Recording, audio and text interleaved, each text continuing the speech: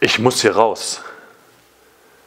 Dieses Gefühl haben Sie und ich wahrscheinlich in den letzten Wochen häufiger gehabt und haben Sie wahrscheinlich immer noch. Jesus Christus scheint es auch gehabt zu haben.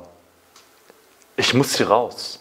Raus aus Jerusalems Mauern und Gassen, in denen die Luft für mich immer dicker wird. Also sucht er für sich mit seinen Jüngern einen Ort, um rauszukommen. Und er findet ihn im Garten Gethsemane, den unsere Konfis und Tima hier liebevoll aufgebaut haben. Und sie kamen zu einem Garten mit Namen Gethsemane. Und er sprach zu seinen Jüngern, setzt euch hierher, bis ich gebetet habe. Und er nahm mit sich Petrus und Jakobus und Johannes und fing an zu zittern und zu zagen und sprach zu ihnen, meine Seele ist betrübt bis an den Tod. Bleibt hier und wachet.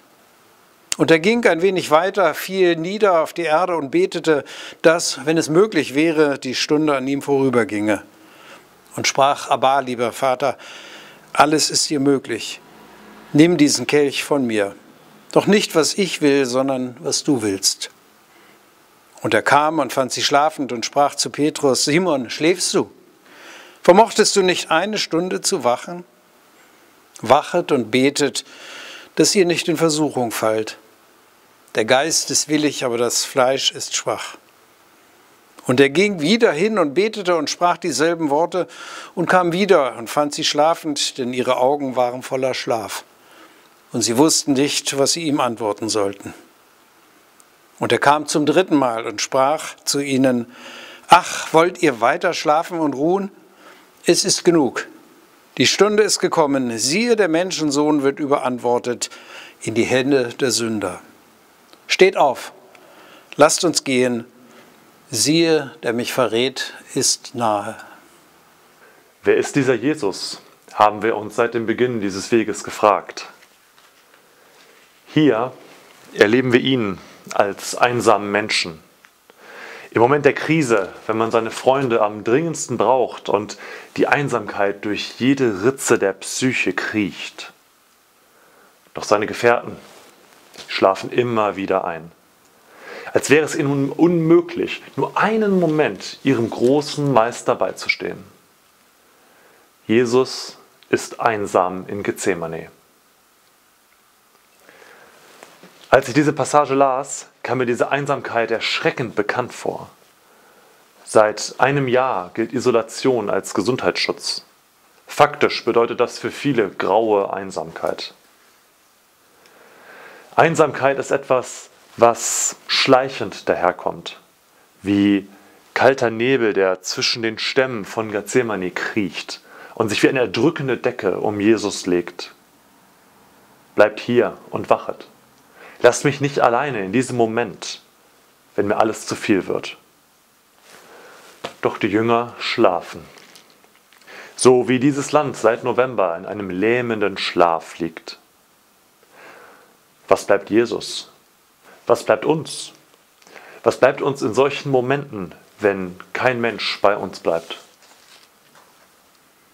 Aber Vater, Gott bleibt. Gott bleibt und sein Ohr ist immer offen für unser Gebet. Klar, es wäre schön gewesen, wenn die Ohren und Augen der Jünger ebenfalls offen geblieben wären. Aber das Fleisch ist schwach. Wir Menschen sind schwach. Wir irren uns, wir liegen daneben mit unseren Einschätzungen und scheitern kläglich. Niemand will Einsamkeit und doch ist sie da, um uns herum. Und deshalb spreche ich zu dir. Aber, lieber Vater, wirke dort weiter, wo meine Freunde nicht wirken und hilfe dort, wo ich nicht helfe. Amen. Ich möchte gleich mit Ihnen, für Sie und mit Ihnen vor Gott sprechen und beten. Vorher hören wir Richard Lemke an der Orgel mit einer kleinen Meditation.